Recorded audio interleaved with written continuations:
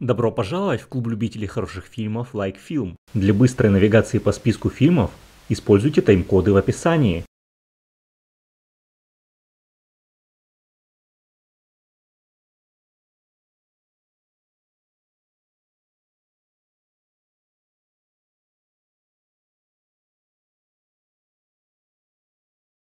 Багровый пик 2015 года. Дурная слава преследует дом, что возвышается над городом. С приходом зимы он утопает в кровавых снегах. Говорят, дело в глине, проступающей на поверхность. Но ни единая душа не рискует ступить на ледяной склон, кроме нее. Она влюблена в таинственного незнакомца, живущего в древних стенах со своей сестрой. Багровый пик пробудился и уже не уснет.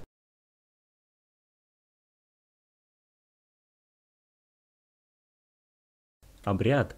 Студент духовной семинарии отправляется в Ватикан учиться экзорцизму. При этом он сомневается как в этой противоречивой практике, так и в религии как таковой. Лишь когда он становится учеником легендарного отца Лукаса, который проводил обряд изгнания дьявола тысячи раз, его скептицизм начинает таять.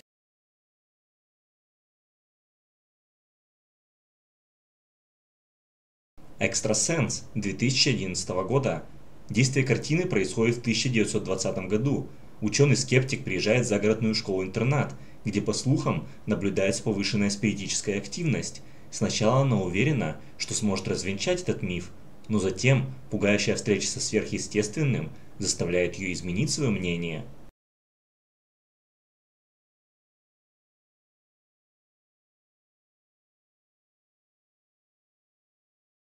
Систер 2012 года Вместе с семьей автор детективов поселяется в небольшом городке, в доме, где почти год назад развернулась леденящая душу трагедия. Были убиты все жильцы.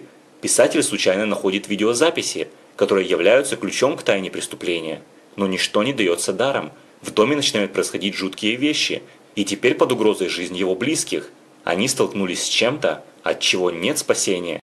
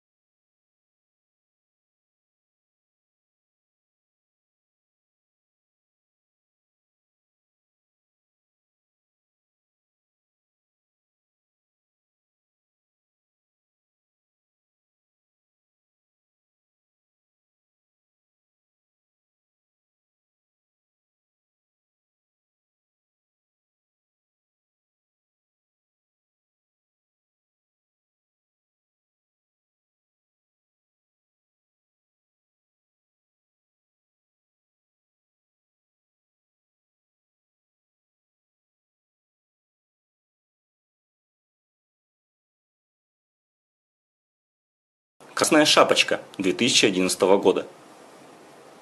Валерии, девочке в красном плаще, предстоит раскрыть, кто же в ее родной деревушке является оборотнем. Между тем, на личном фронте у Валери тоже не все просто.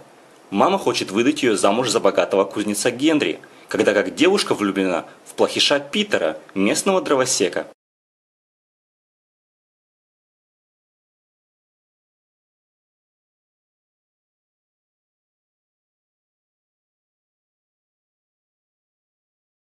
Колумбиана. Кат было всего 9, когда на ее глазах неизвестные жестоко убили ее родителей. Девочка сумела убежать от бандитов и найти убежище в Чикаго у своего дяди. Теперь Кат – профессиональный убийца. Во что бы то ни стало, она должна распутать клубок давнего преступления и отомстить за смерть родителей. Все следы ведут колумбийскому наркобарону Дону Лусия единственная нить, соединяющая девушку-убийцу с миром обычных людей, это ее возлюбленный, который не догадывается, чем на самом деле занимается его подружка.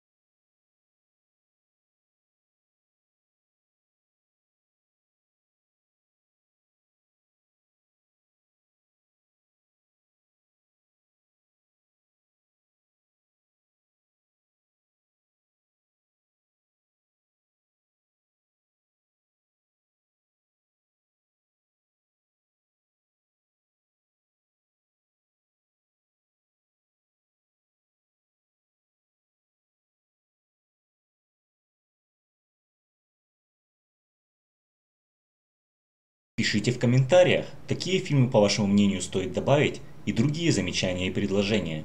Спасибо за внимание, до скорых встреч!